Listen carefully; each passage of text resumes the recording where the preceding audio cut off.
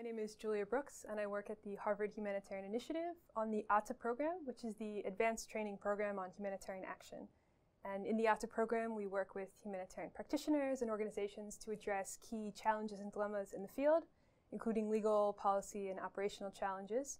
And in particular, I work on international humanitarian law and policy. One of the urgent challenges facing the humanitarian sector today that we've been looking at is the incidence of violence against humanitarians. There's a number of reasons why uh, attacks against aid workers seem to be increasing in recent years. Some of them are contextual, related to the conflicts in which uh, humanitarians are operating, and some of them relate to humanitarian actors themselves. So, with regard to the contextual factors, we see that overall, uh, today the majority of conflicts are in non international armed conflicts or internal conflicts within states that feature non-state armed groups, uh, insurgents or militia groups, and often fighting within heavily populated areas, and often with uh, high levels of disrespect for international humanitarian law, which aims to protect civilians and humanitarian workers in conflict. So these types of conflicts are having a heavy toll on civilians and aid workers alike, and that's important to keep in mind when we talk about violence against humanitarians. This violence is also affecting civilian populations, uh, often to a, a much greater extent. There are also a number of factors related to humanitarian action itself, which seems to be driving some of the increase in attacks. One has been we've seen the politicization of aid work in a number of conflicts, which is driving increased hostility and, and incentives to attack aid workers. In some cases, aid workers have been attacked directly by virtue of uh, their operations, which are perceived as aiding the enemy or contributing to the other side uh, in a conflict. In other cases, they've been targeted indirectly by virtue of their perceived association with, for instance, uh, government forces, military forces of that state, or international militaries, which are seen as invaders or enemy forces. And so targeting humanitarians is a way to oppose those, those outside forces. This is really a, in contrast to the humanitarian principle of, principles of neutrality, impartiality, and, and independence, which are meant to, to take humanitarians and, and more broadly civilians outside of the conflict. Civilians, including aid workers, are not to be targeted under international humanitarian law, which distinguishes between civilians and, and combatants with the aim of protecting civilians and reducing human suffering in conflict. So we see that the erosion of the perception of aid workers as neutral and impartial and somehow outside of the conflict is contributing to targeting against them. There's also a number of uh, economic or financial factors which, in a way, have always existed but contribute to violence against aid workers who are often better resourced or wealthier than the local population or have trucks, equipment, electronics, computers, or valuable relief supplies, which could be the target of raids or um, kidnapping for ransom, for instance, is, is one of the highest uh, types of, of violence that we're seeing. So these are some of the factors which are contributing to the increase in violence against humanitarians. But overall, it's also important to note that a lot of the factors in particular cases are not well understood. There's often a combination of these different factors, and it's hard in many individual cases to really know what are the true motivations of the perpetrators of these attacks and how we would respond to addressing those motivations or uh, creating disincentives to attacking aid workers. So, this is an area where there's a lot more need for research and engagement with armed groups and militaries to understand the true motives and incentives driving some of this violence. There have been a number of very useful efforts which have, under, which have gone on over the last few years and going back even a decade or so, looking in particular at uh, quantifying and tracking incidents of violence. We have a number of databases which have emerged. A great one is the Aid Worker Security Database, which is publicly available online. Also have Insight and Security organizations like Humanitarian Outcomes, which are collecting and, and producing data and also reports so we can really track across countries and contexts what types of violence is occurring. And this has uh, allowed us to see this sharp increase in recent years in the number of attacks. But there's still a great need for better research, also more disaggregated data. It's hard to tell given the, the current statistics, and also many uh, organizations themselves keep their own internal data that's not necessarily shared publicly on, on instances affecting them. But it's hard to tell given the current data what types of aid workers are most affected or most vulnerable to violence, what types of projects and operations, uh, the effect of gender, so the different risks or vulnerabilities or resiliencies of ma- male versus female aid workers. Also, the, the balance between national staff and international staff. Often, uh, violence against international staff is what captures the headlines, But we see that uh, about 90% of victims of violence against aid workers are, in fact, national and local staff. And national and local staff make up the vast majority of aid workers overall, so it, it makes sense that they would also be most affected by, by this violence. But we do need much more research, I think, into understanding some of these disaggregated effects in order to target better responses. So, on the question of who's attacking aid workers or who's perpetrating these attacks, I think that there's a common misperception that these attacks are emanating from non state armed groups, from insurgents, militias, and many, in fact, are. But we also see attacks coming from state militaries, uh, from regular armed groups. For instance, the US airstrike on a MSF hospital in Kunduz in late 2015. We've seen in Syria a deliberate campaign, a systematic campaign of targeting hospitals, medical workers, and other humanitarians by the Syrian armed forces as well as Russian armed forces, uh, for instance, in an attack, uh, airstrike on a Red Cross convoy last year. So the attacks are really coming from both non-state actors and uh, state actors, from parties to conflicts in, in a variety of different settings. So that's another area that uh, I think requires a lot more research and engagement and figuring out how to address the the different causes of violence among these different types of actors. There, there's a big difference, for instance, between deliberate and systematic targeting of aid organizations by some groups as part of their strat- strategy of war which is very clearly prohibited by international law, and yet we see occurring in a number of contexts, most notably in Syria. And on the other hand, uh, incidents of indiscriminate attacks on aid workers and civilians alike, or cases of accidental or, or cases of um, false targeting, mistaken targeting, which are affecting aid workers uh, as well. So those will each require different responses to address. The in significant increase in violence against aid workers is having a pretty significant and negative effect on aid delivery and humanitarian assistance in the field. There's some great research recently by the SAVE study that's securing access in vulnerable environments, which found that in some of the most highly insecure contexts, the fewest aid organizations, the fewest humanitarians are able to respond, and that often humanitarian organizations cluster into more stable and secure environments, leading those populations in more stable environments to be overserved by aid, and those populations in more insecure environments to be underserved. And those are often the populations that are being currently underserved that are perhaps in the greatest need. So this is really posing a challenge to uh, upholding the humanitarian principle of impartiality, which is the idea that aid be given to those in the most urgent need with no discrimination based on other factors. But if humanitarians aren't able to operate in these highly insecure areas, decisions on the allocation of aid are being made often uh, with regard to security and not just need alone. Another effect that we see these attacks having has been a move toward remote management, relying on local partners. Very few organizations are able to operate consistently and effectively in uh, these environments, in particular ICRC and MSF, but many others are not able to. And notably, these organizations that are operating have also taken some of the highest uh, casualties by virtue of their continued operations. The movement by many to distance themselves from these areas where it's, where it's most difficult to operate is raising a number of concerns with regard to the, the quality of aid that's reaching these areas and also whether the burden is shifting to local actors. So, as international organizations take a step back, withdraw from some of these harder to, to operate in areas, increasingly it's local and national aid workers that are filling these gaps and maybe as a result even more exposed to insecurity but with less resources less institutional support often less training and, and other assets to, to keep themselves safe. So this is a real concern that the burden may just be shifting to local and national actors um, by virtue of the, the withdrawal of, of internationals. So we've seen a real growth in the professionalization of security risk management, much more uh, in-depth thinking about contextual analysis, risk assessments, and how to continue operating effectively in these high-risk environments despite the risks.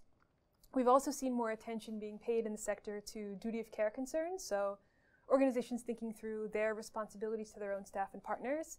And uh, despite the, the general risks of humanitarian action, which have always existed, how to be responsible employers and, and sponsors in these contexts.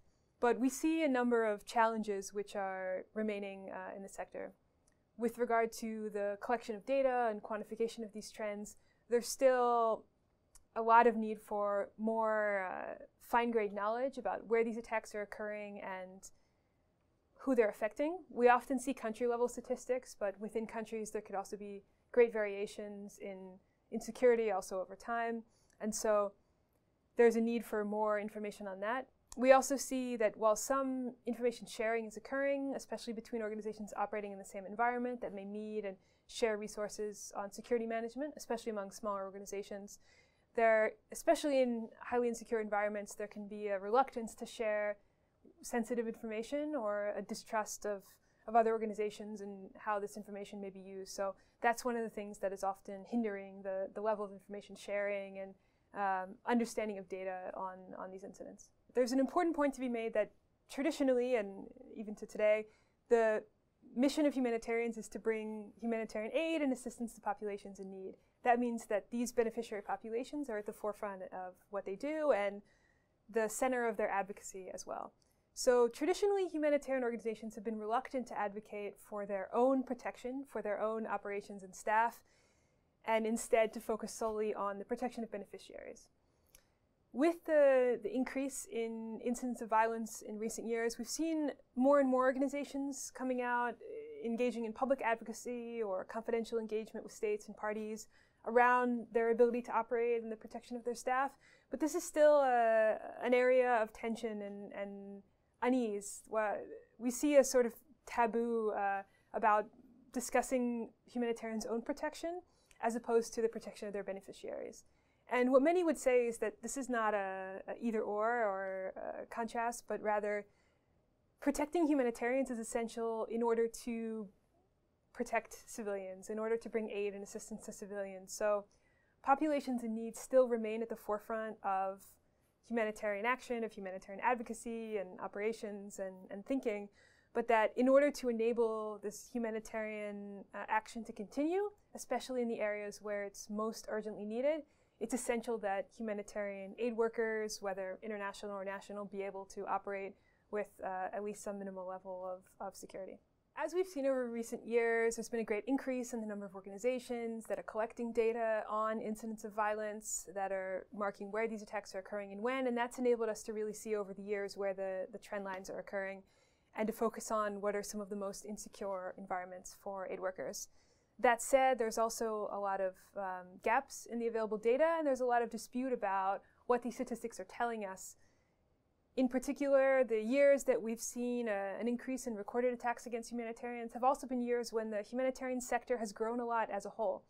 So there's a question of, given the increased number of humanitarian actors in the field and the increased context and, and nature and scope of the work that they're doing, how does the, the rate of attacks, um, is it changing or, or can we tell based on, on the numbers now? So there's a need for more work on, on quantification in that regard also, many organizations now are collecting internal data, but and and in many cases sharing it with others, with other organizations and, and researchers. But especially in some of the most insecure environments, there's al also often a reluctance to share sensitive information about programs and security incidents. So that's one thing which has been getting in the way of a, a broader understanding uh, across organizations in the sector about how, when, and where these uh, attacks are in fact occurring. Another thing that I would say on some of the causes and motives or drivers of these attacks is that while we know generally some of the factors driving violence against aid workers, we don't understand these nearly well enough in order to respond effectively. So we know that the context for humanitarian operations are changing, and this is affecting civilians and aid workers alike. We're operating more and more in internal conflicts where uh, war is playing out among civilian populations, and this is taking a heavy toll on civilians and aid workers alike. We see also a, a, disturbing trend of growing disrespect for the norms of international humanitarian law in conflicts in a number of settings, which these rules were designed to protect civilians, including aid workers, but civilian populations as a whole from uh, the suffering caused in conflict. And the growing disrespect for these norms is, is very concerning uh, in, in many ways, not just with regard to violence against aid workers themselves. And in addition to those contextual factors, we see also political, financial, and other motivations for violence against aid workers.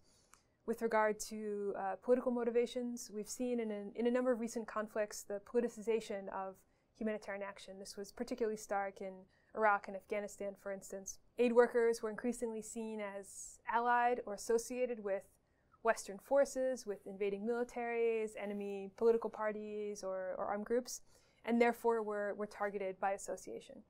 We also see targeting of aid workers out of political aims, uh, out of the desire to cut off aid to enemy populations. We see attacks against aid workers which are, are directed at undermining this notion that neutral, impartial, independent aid is outside the conflict and therefore to be protected, but more and more humanitarian action is seen as part of the environment of conflict and a legitimate target, which is clearly prohibited by international law, but is a trend that is occurring overall. We also see financial or economic incentives for the targeting of aid workers, often by virtue of the fact that they're wealthier, better resourced, or equipped than the local populations. So this may be kidnapping for ransom, which is a, a very prevalent type of, of violence. We also see uh, theft of vehicles, uh, raids on compounds to steal electronics, computers, uh, attacks on aid convoys or warehouses for relief materials, which humanitarians control. So there may be incentives by armed groups to either gain money or resources by attacking uh, humanitarians. And that's not necessarily anything new, but is occurring at, at significant uh, and concerning rates. Overall, though, in, in many particular instances, it's very difficult to distinguish between a variety of these drivers which, is which are contributing to the particular attack. So we don't understand nearly well enough what are the particular incentives of perpetrators in many of these cases, and what would be some of the disincentives or um, motives to protect aid workers or at least not be uh, hostile towards them, and how those incentives could be um, leveraged by the humanitarian community, by states and other actors to create a more protective environment for, for humanitarian action. There's a traditional notion that the humanitarian principles defend or protect aid workers, that by operating in a neutral, impartial, and independent manner, humanitarians should be outside the conflict and therefore not uh, targetable or not seen as the object of uh, military attack. Now, what we see today is, is the question arising of whether violence against aid workers is a symptom of an erosion of these principles, whether there's been a, uh, an erosion of neutrality, impartiality, and independence on behalf of aid workers, or whether these principles, in fact, do not uh, automatically operate to shield humanitarians from violence, but may in fact provoke it. For instance, in the case of the principles of neutrality and impartiality, the idea is that humanitarians serve both sides in a conflict. They're not partial to a particular population, but operate irrespective of, of whose side they're on to fill humanitarian needs. Now, in many cases, this can provoke hostility when providing aid to the population on the other side or to an area controlled by an enemy armed force. We see that this is contributing to attacks by some armed groups which seek to cut off aid to uh, opposing populations. So being neutral and being impartial in itself may be in fact driving some of the violence against humanitarian actors. In other cases, with the growth and expansion of humanitarian actors in the field, it may be that the different interpretations of these principles or undisciplined action is is contributing to uh, a loss of their actual or perceived neutrality and independence, for instance, by uh, associating with armed forces or political agendas. That's also contributing to the erosion of respect for and the, the protection of, of humanitarian actors. As more and more organizations are coming out, speaking publicly, calling for renewed respect for humanitarian law and condemning these attacks against aid workers, there's still this tension between speaking out and what are the benefits of speaking out? What can organizations hope to accomplish by publicly condemning these attacks? And what are some of the potential risks to operations and staff remaining in country or local partners and others or even uh, beneficiary populations of speaking out? Will speaking out or pursuing legal action alienate the parties that humanitarians depend upon for access and operations and make it even harder to operate? Or uh, will speaking out as part of broader efforts to pursue justice contribute to reversing this trend of violence against humanitarian action and creating a more protective environment for the pursuit of humanitarian assistance and protection to those in need. A tension has arisen between a sort of silence, which is seen as, as protecting affected staff by not uh, highlighting them in public or speaking out on their behalf, and not uh, producing more hostility or potential backlash from speaking out. But overall, this producing a sort of um, collective acceptance of these attacks becoming the new normal. So some are pushing for much more public advocacy on behalf of the protection of humanitarians uh, and to bring about policy changes and, and other things to, to address this problem. Speaking out or engaging in advocacy on behalf of the protection of humanitarian actors is something that we're seeing more and more by humanitarian organizations, but it's also important that we look at the responsibility of states and other parties, uh, other parties and, uh, and conflict actors. There's a lot that humanitarians can do to change the way that they operate in the field, to more effectively uh, analyze the risks in particular contexts, to train and prepare their staff to operate in these highly insecure areas. But ultimately, it's the responsibility of states and other parties to conflict to enforce and implement the rules of humanitarian law that protect aid workers and civilians, to bring perpetrators to account, and to take other measures, policy changes, international uh, advocacy, legal action, which will reverse this dangerous trend of violence against humanitarians. So it's important to keep in mind that it's not all, the onus should not be all on the humanitarian community, but rather on the parties that are responsible for addressing this violence and as well as many of its root causes and conflict and and political causes as well. This trend of violence against humanitarian workers has given rise to a lot of big questions facing the humanitarian sector, uh, which will continue for, for a while to come, I think.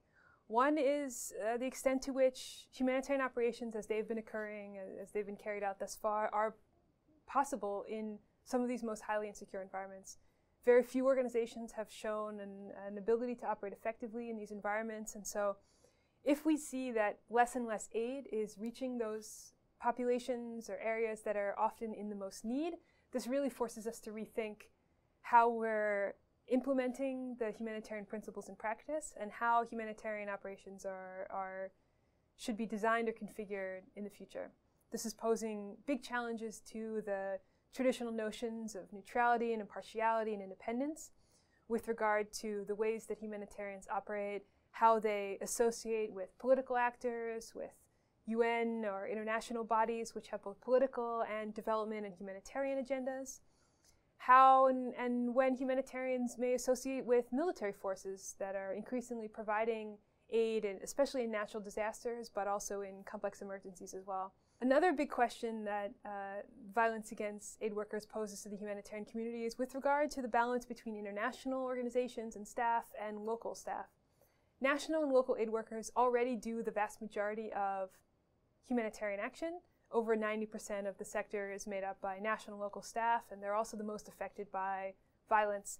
And there's been a movement toward localization even more, partially in response to insecurity, but also in response to the sense that local communities should be taking more ownership. Local communities already uh, are the most affected and engaged and, and most capable of responding to their unique challenges and needs. So one challenge is this big push toward localization at the same time as international organizations are still in many ways calling the shots with regard to international funding of humanitarian efforts, the design of humanitarian coordination schemes and types of responses. So this tension or shift between international and local and national uh, actors is going to be a big one, especially with regard to uh, insecurity and, and violence against humanitarians. Humanitarians have been able to operate for generations under these fundamental principles of humanity, neutrality, impartiality, and independence. And with the growing uh, erosion of many of these principles in the field or the challenges posed by